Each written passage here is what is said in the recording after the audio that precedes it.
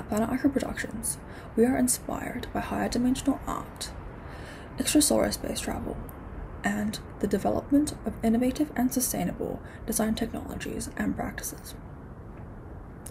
In this video, we looked at screen printing as a cost effective and visually appealing way of transposing our digital artworks onto garments.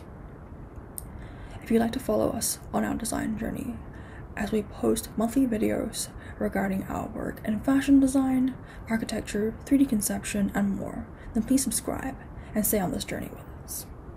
And if you haven't seen Antonio aka Antaro's new intro video yet, you can do so with the link above. Thank you so much for viewing.